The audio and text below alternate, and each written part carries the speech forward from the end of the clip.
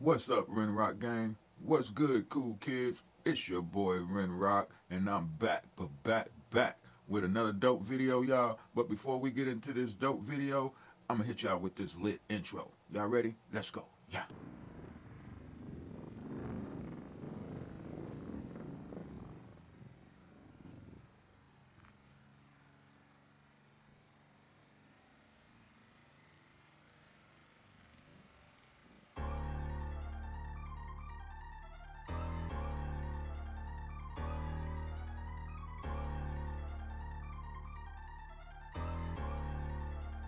You're watching Rinroc TV. You're watching Rinroc TV.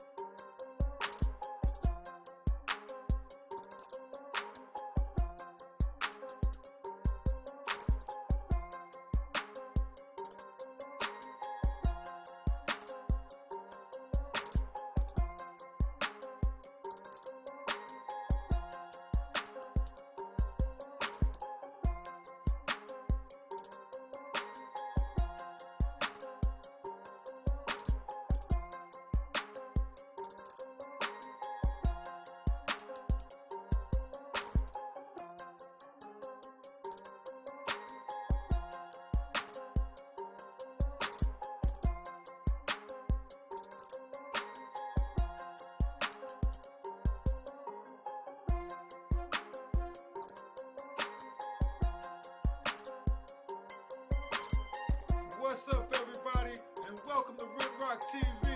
Let's go!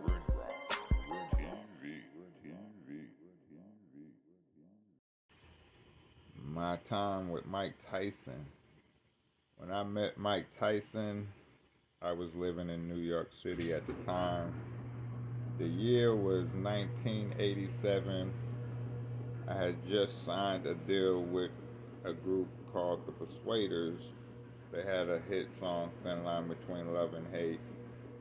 And my debut really was at this club called Club Sweetwater, downtown Manhattan in 1987.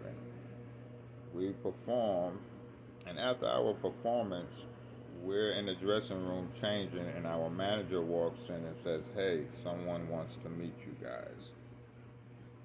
So we said, okay, after we get dressed, we'll come up and you can show us who wants to meet us.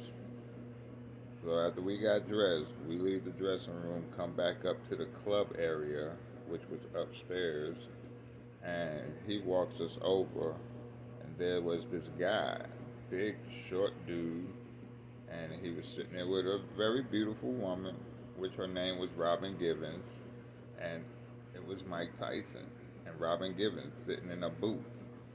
On the table, he had about eight or nine bottles of Moet.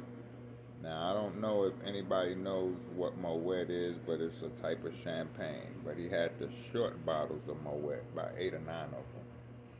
And um, he talked to us. He told me how he liked my dancing, and he asked if he can take a picture with us. So we said, yeah, sure, sure. But mind y'all, this was before he was the heavyweight champ. Before. This was like his last night partying, and the next day he was going off to training camp. So he took a picture with us, as you see the picture, with me in the white shirt. His hands are so big when he shook my hands, it covered my whole hand. His hands were so big. But he was a very nice person. He was very respectful, and we told him good luck with his championship match. That was my time with Mike Tyson that I will never forget, and I have the picture to prove it.